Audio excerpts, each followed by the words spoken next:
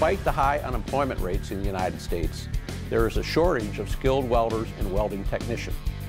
The Tri-C program and the partnership with Lincoln Electric is helping to address this shortage and to provide long-term career opportunities for interested students.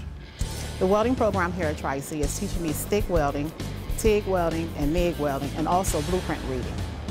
For the facilities here, this building, this building, particular building we're in, they just built it, and it's, it's, it's nice. They got a lot of state-of-the-art technology in here, and it's real nice. They got, uh, you got your own booth, you got your own ventilation system. When it leaves the building, it's already filtered, so it's, it's letting out fresh air. It just, it's real nice. All my instructors worked in the field of uh, welding and have years of welding experience, which actually uh, gives me the knowledge of welding too. The instructors here want us to succeed. Their number one goal is to get everyone in the class, not missing one single person, but everyone in the class their certification.